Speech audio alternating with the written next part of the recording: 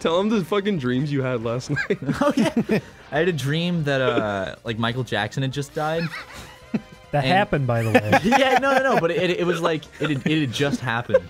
Um, Michael Jackson had died, but like no one um wanted to admit that they were sad about it because he was a, a child molester. so I came into the office and like everyone had like tear streaks down their faces and like tear stains on their shirts, and they but they were trying to say like, no, I haven't been crying. I'm not sad at all. Because they, they were clearly all very sad that he had died, but they didn't want to like admit that they were sad that he had died because he was a child molester. they were ashamed. And that was my dream. what a Did you, pointless fucking did dream. you say anything? No, that was just my dream. All right.